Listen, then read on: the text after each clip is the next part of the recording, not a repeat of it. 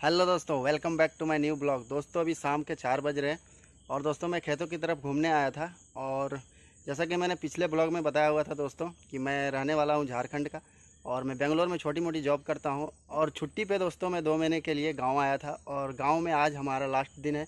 आज डेट है दस सेप्टेम्बर और ग्यारह सेप्टेम्बर को दोस्तों, हमें वापस से बेंगलोर जाना है। तो दोस्तों, मुझे पारसनाथ से रांची जाना पड़ेगा और रांची से ऑटो पकड़ के हटिया जाना पड़ेगा और दोस्तों, हटिया से हमारी ट्रेन जो है, साढ़े छः बजे ट्रेन है हमारी दोस्तों। तो मैं अपनी इस जर्नी का पूरा एक्सपीरियंस आप लोग के साथ शेयर करूँगा और काफ़ी सारे भाइयों का ये डाउट रहता है। अभी फ़िलहाल जो कोविड चल रहा है, उसमें डाउट रहता है दोस्तों कि अगर ट्रेन से सफ़र करेंगे तो R T P C R report और कोविड टेस्ट वगैरह कुछ माँगता है क्या रिपोर्ट वगैरह? तो ये सारा कुछ आपको इस ब्लॉग में आपको क्लियर हो जाएगा दोस्तों। तो ब्लॉग पे आप लोग कंटिन्यू बने रहिए दोस्तों। मैं सीधा आपको पारसनाथ स्टेशन में मिलता हूँ।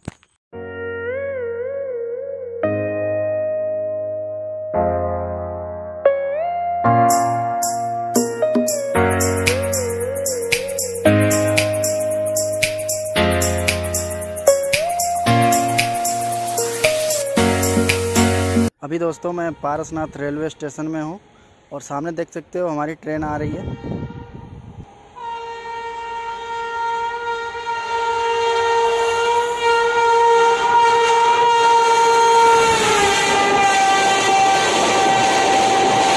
दोस्तों हम फाइनली ट्रेन पे बैठ चुके हैं और अकेले सफ़र का मज़ा लेते हुए अभी आपको सीधा मैं हटिया स्टेशन में मिलता हूँ और फिर वहाँ से हमारी छः, साढ़े छः बजे दोस्तों हमारी जर्नी स्टार्ट होती है बेंगलोर के लिए। ब्लॉग पे आप लोग कंटिन्यू बने रहिए दोस्तों, ज़्यादा लंबा वीडियो नहीं करूँगा, आप लोग को बोर नहीं करूँगा।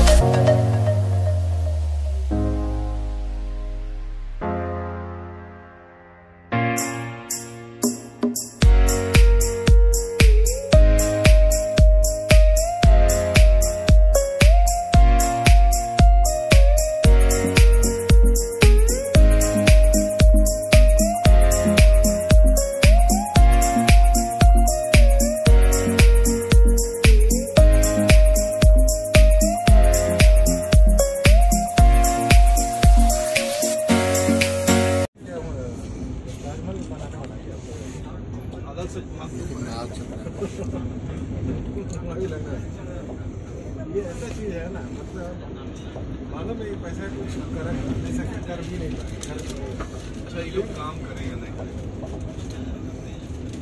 ये उससे बहुत छोटा है। हाँ छोटा है। वो भयंकर था सर। पैसा ये भी है।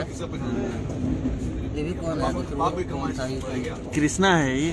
कृष्णा है ना? कृष्णा है सर।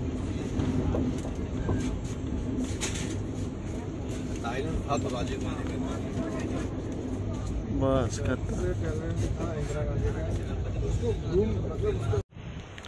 गुड मॉर्निंग दोस्तों। अभी सुबह के चार बज रहे हैं और मैं अभी मजेस्टिक बस स्टैंड में हूँ। और बेंगलोर कैंट में दोस्तों ट्रेन हमारी एग्जैक्ट टाइम पे थी।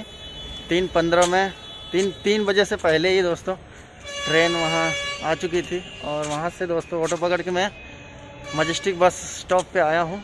और मजेस्टिक बस स्टॉप के नज़ारे आप देख सकते हो कुछ इस तरह के हैं। और यहाँ से दोस्तों मुझे बस पकड़ के गौरी बिंदुर जाना है।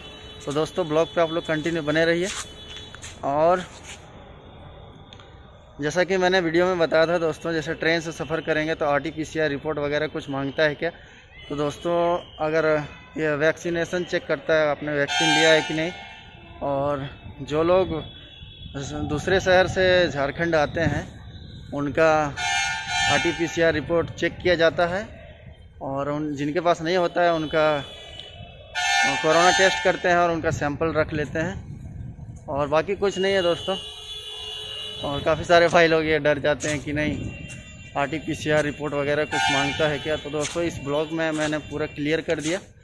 आप बेझिझक सफ़र कर सकते हो। तो दोस्तों, इस ब्लॉग को यहीं पे करता हूँ, एंड। उम्मीद करता हूँ आप लोगों को काफ़ी ज़्यादा पसंद आया होगा। अगर पसंद आया तो लाइक कमेंट शेयर करना और चैनल को सब्सक्राइब करके अपने इस भाई को सपोर्ट ज़रूर करना। मैं मिलता हूँ एक और नए ब्लॉग में, तब तक के लिए हँसते रहिए, मुस्कुराते रहिए और देखते रहिए अपने भाई का channel take care and ta-ta bye bye